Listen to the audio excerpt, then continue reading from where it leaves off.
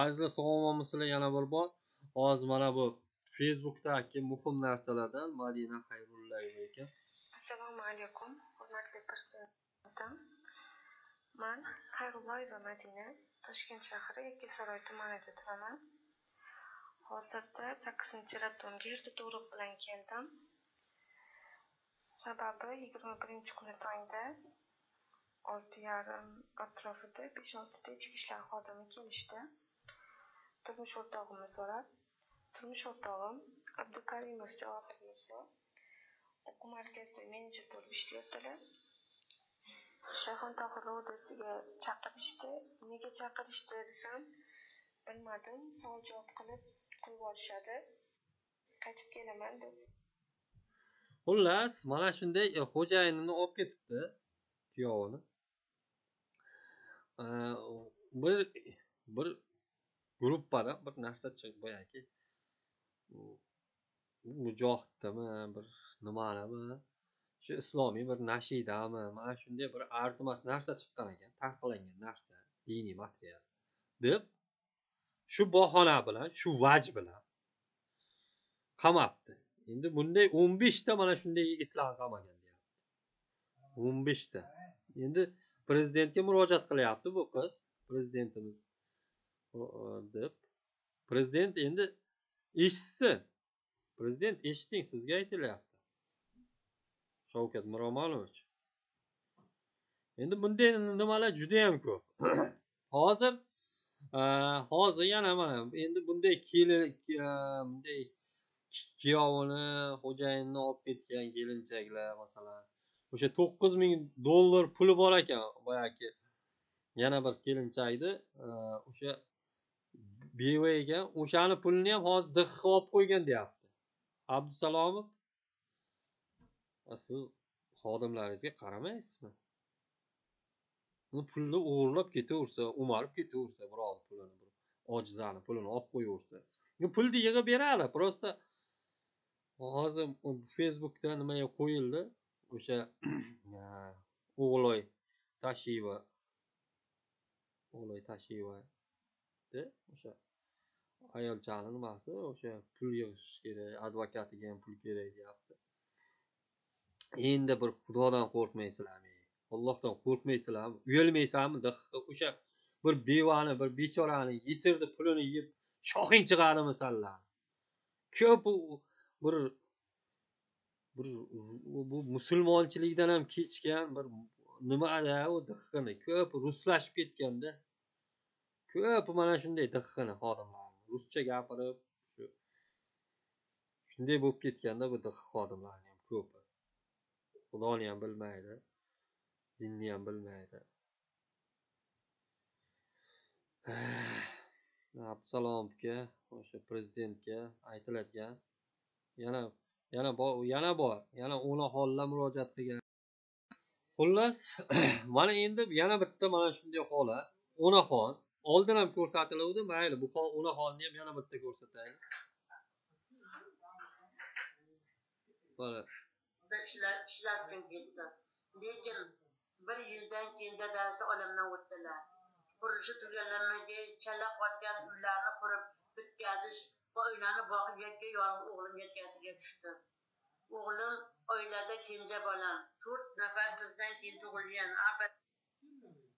So'ng yana qaytarib yuborishadi yana men qaytib kelaman sud bo'lgan kunlari esa allaqanday bo'lmag'ir ayblar bilan o'g'limni o'qilgan bo'qilgan deb yengil yelpi sud o'tkazishdi tergov surishtiruv payti guvohlarni qiynab ko'rsatib u deysan bu deysan deb bo'yniga qo'ygan ekan o'shalarni gapirishdi xolos xullas yakka yolg'iz o'g'limni yo'q yerda aybdor etishdida ikki ming o'n to'qqizinchi yilning may oyi oxirlarida bo'yniga bir yuz ellik besh va ikki yuz qirq to'rt moddalarni qo'yib o'n bir yilga qamab yuborishdi sud payti juda ko'p ayblar tasdiqlanmadi advokatlar o'g'lim sherigini aybsizligini isbotlab berdi bu ularni xullas afg'oniston chegarasidanmi shunday qaytib kelgan o'g'liga tuhmat bilan o'g'li endi namozxonroq bo'lgan bo'lsa bo'lsa o'g'liga o'sha bir yuz ellik to'qqiz ikki yuz qirq to'rt deyaptiku o'sha e, xullas shar'iy davlat qurish mana shunaqa narsalar ayblov bilan terrorist deb terrorist deb terroristlik o'sha qo'rqitish nimasi bilan o'n bir yilga qamab yuboribdi o'g'lini. Buni e, nurulloh muhammad raufxon aka oliy sudga yozma murojaat bilan chiqqan boshqa qilgan Э, muhtaram facebookdoshlar anchadan beri bu oila haqida yozgandim debdi. Э, onaning prezidentga yozma va video murojaatini shu yil avgust oxirlari sahifamga qo'ygan edim. Toshkent shahar sudi xo'jaqulov e'tibori uchun rahmat albatta. Javob yo'lladi debdi e'tibori uchun rahmat debdi. Э, xullas nima degan o'zgartirilmaydi degan javob bilan qari kampir bo'lganida yolg'iz boquvchisi ajralib qolgan onaga sovuqqonlarcha o'lim hukmi chiqarilgandek tuyuldi menga.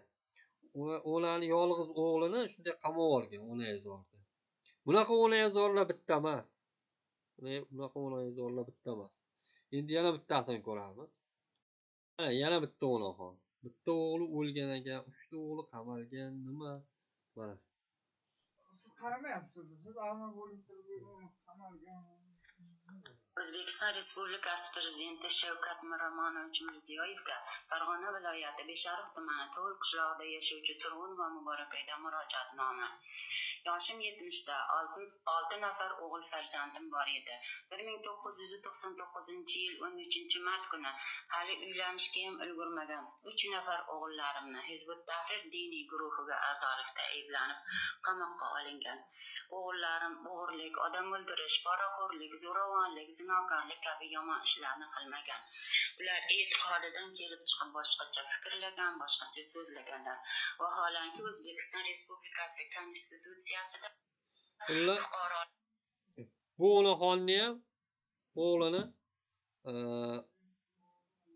Manaki hozirgacha ham bitta o'g'li o'lib kelgan ekan. U qamatni shu ko'mdirgan nima qilgan mana shunday gaplarni gapirgan. Endi e, ancha gap so'zi bor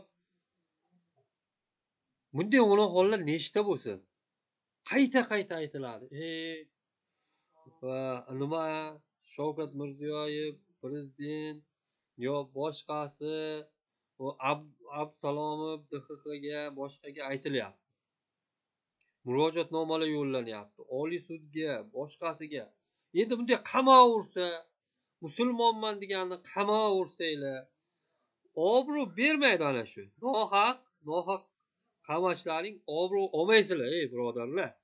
Bu kofir bir tiyinga olmaydi siz bilan mani. E kofirlar bir tiyinga olmaydi.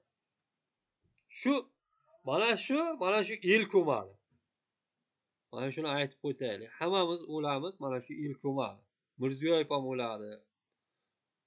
Man ham o'laman siz ham o'lasiz mana shu el ko'madi bu elni farzandi musulmonni yetti ollohni oldida boramiz. Abdusalom azizov ham o'ladi o'sha dxxni boshlig'i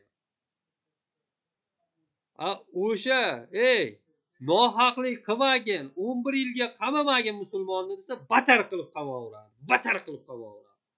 Bu yaxshi emas bu. Bunday onaxonlar juda ko'p. Endi boyagi nimayam ko'pda bizada.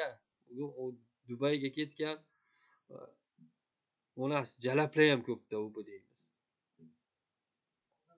Dubayda jalablik qilib yuribdi singlisi jalablik qilib yuribdi daislar ham ko'pda. Nima qilamiz?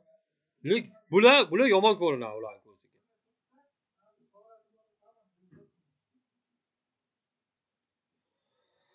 Xullas mana shu prezidentga murojaat qilgan onaxonlar opalar hammasi o'g'lim deyapti bittasi kuyovim deyapti. Eri qamalibdi birovini ko'rdinglar prezident o'ziz e'tibor bering. Abdusalom azizov dxxni boshlig'i. Siz ham bir sal qarangmi sizni vazifangiz ham shu qarash xodimlarni bunday qilib to'qqiz ming dollar qayerga ketganini hech kim bilmaydi. Qayd etilmagan deyapti hech joyda. Iya. Qanaqa davlat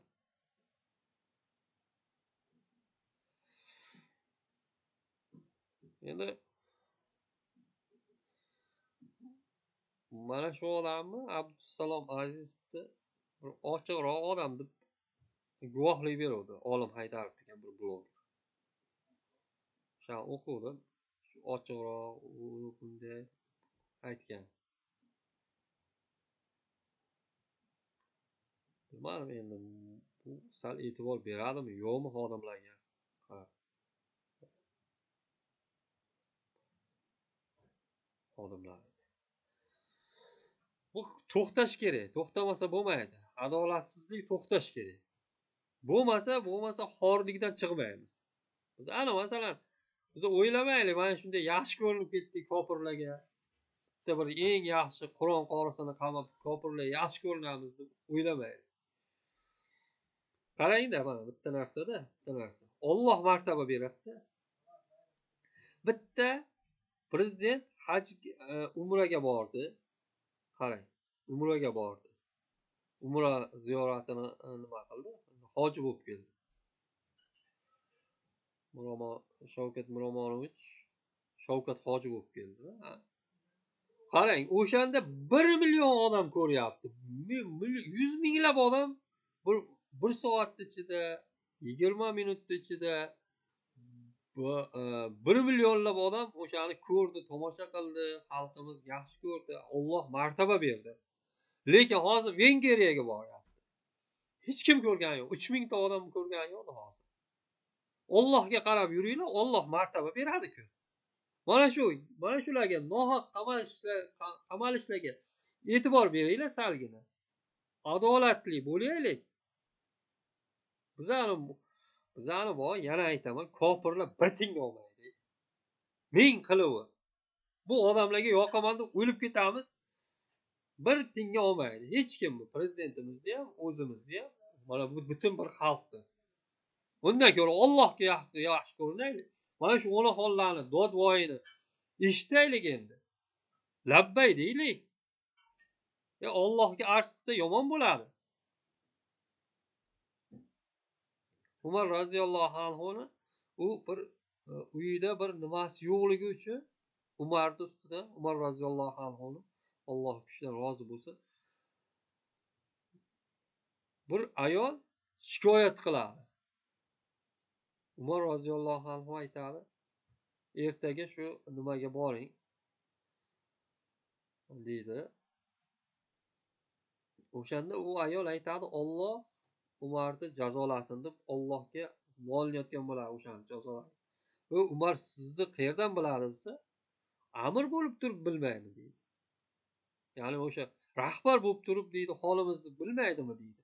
A bu nimadan chiqib facebookdan yo boshqa ijtimoiy tarmoqlardan chiqib baqiryotibdi bu ayollar? Ey bolamga rahm qilgin zolimlik qilmagin zulm qilmagin olloh ham qahhor sifati bor. Olloh ham qahr qilishi mumkin.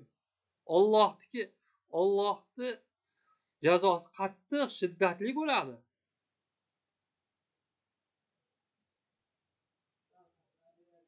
Endi mana shu lekin unda unga bir yo bayden qutqazib ololmaydi yo bu birlashgan millatlar tashkiloti qutqazib ololmaydi yo bir boshqa bir nima qutqazib ololmaydi unda. Biza hozir mana shularga yaxshi ko'rinish uchun masalan to'g'ri bularni bularni voydodini arzdodini ozodlik chiqarmasligi mumkin bbc chiqarmasligi mumkin. U farishtalar yozib turibdi. Olloh eshityapti parda qolmaydi mazlumni nimasiga. Hech qanday parda bo'lmay ekanda ularni shunday duosi qabul bo'ladi. Chunki mazlumda bu. Bularni duosi qabul bo'ladi mazlumni duosi. Bularni duosidan qo'rqaylik bularni qarg'ishidan qo'rqaylik.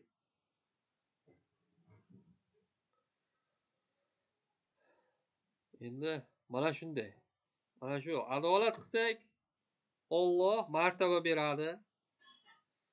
Hamma narsani beradi. Agar mana shunday qilib o'sha dh xodimi boshlig'iniga aytdik abdusalom aziz shavkat mirziyoyevga ham aytilyapti murojaat qilinyapti. Mana shularni eshitish kerak. Eshitmasa lekin biz xor bo'laveramiz xorlik tugamaydi. Xorlik tugamaydi. Sog' bo'linglar salomat bo'linglar